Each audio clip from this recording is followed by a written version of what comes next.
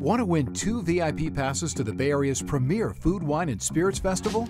Watch Bay Area Revelations, a culinary journey, Sunday night at 8 on NBC Bay Area. Get the Eat Drink SF code, then enter to win at NBCBayArea.com.